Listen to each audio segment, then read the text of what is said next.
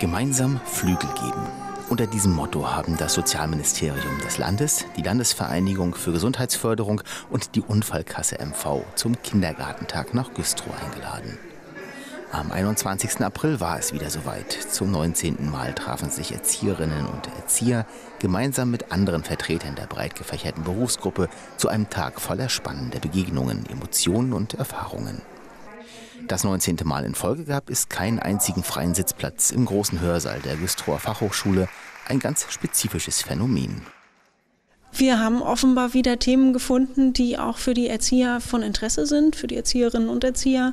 Wir haben jedes Jahr ja inzwischen zum 19. Mal eben sehr interessante Themen, die auch wirklich sehr praxisnah sind und das reizt offensichtlich immer wieder. Als Schirmherrin des Kindergartentages erläuterte die Sozialministerin Stefanie Drese die aktuelle Kita-Offensive des Landes. Eine der wichtigsten Botschaften mit der für Januar 2019 geplanten Einführung der Geschwisterkindregelung zahlen Eltern nur noch für ein Kind von der Krippe bis zum Hort. Damit stellt das Land dann bereits etwa 54 Millionen Euro zusätzlich für die Entlastung von Eltern bei den Beiträgen für die Kindertagesförderung zur Verfügung. Und das ist natürlich längst nicht alles.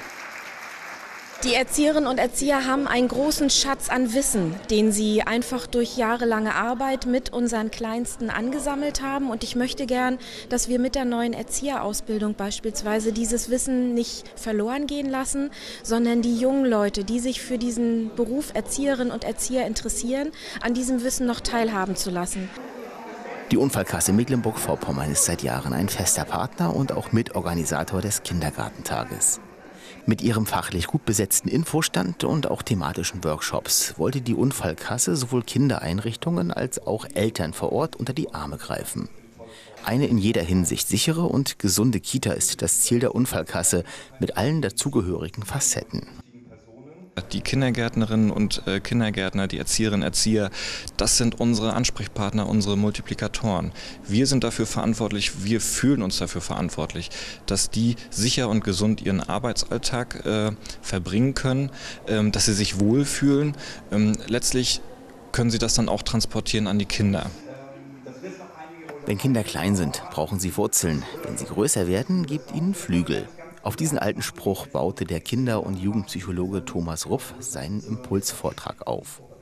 Neben zahlreichen Tipps gab er auch aus der langjährigen Erfahrung heraus den wichtigsten davon, im Umgang mit Kindern niemals den Humor verlieren.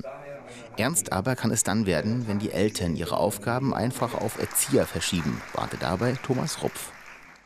Das hat auch sehr viel mit dem Dienstleistungsgedanke zu tun, dass man eben sagt, also wir zahlen Geld und dafür verlangen wir Leistung. Davor warne ich immer so ein bisschen, weil Bindung gehört immer zwischen Kind zu den Eltern und das heißt, die Eltern sind immer noch in der Verantwortung und haben den meisten Anteil von der Gewichtung her, was das Kind und die Erziehung des Kindes betrifft. In knapp 30 Workshops zu ganz verschiedenen Themen konnten die Teilnehmer des Kindergartentages viel Neues lernen und aufregende Erfahrungen sammeln. Begegnung mit sich selbst, Selbstachtung und Selbsterkenntnis standen dabei im Mittelpunkt.